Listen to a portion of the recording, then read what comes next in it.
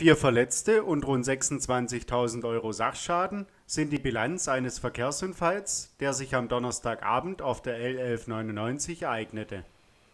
Ein 18-Jähriger befuhr gegen 18.20 Uhr mit seinem Hyundai Taxen die Strecke von Stetten in Richtung Weltenbronn.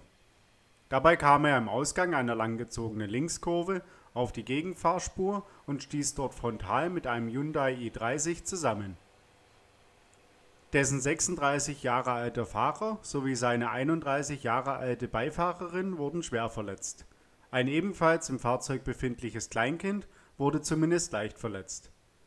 Der 36-Jährige musste von der Feuerwehr aus seinem Fahrzeug befreit werden und kam mit einem Rettungshubschrauber in eine Klinik.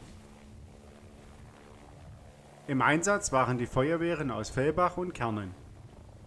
Der 18-jährige Verursacher wurde ebenfalls schwer verletzt und wie die anderen in eine Klinik eingeliefert.